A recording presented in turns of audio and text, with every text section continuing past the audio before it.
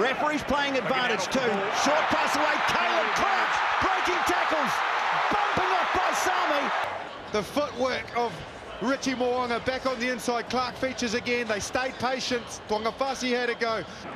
Back to O'Connor now. He puts one high. All Blacks with the sun behind them, and it's Caleb Clarke. I don't know whether you want to be kicking to this fellow because he'll hurt you. He'll hurt you big time. Caleb Clarke thundering down towards the 22 and still going. Run from the young winger. Just puts his foot down, beats two tacklers.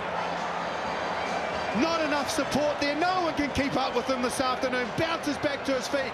How many people has he smashed out of his way?